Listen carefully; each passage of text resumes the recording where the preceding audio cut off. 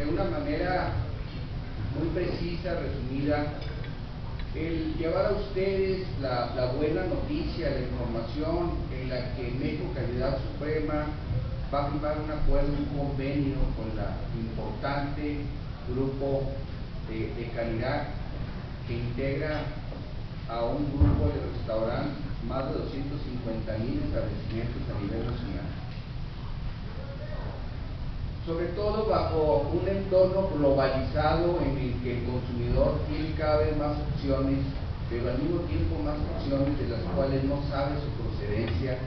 Es muy importante que el consumidor de alimentos, alimentos todos ellos que, se,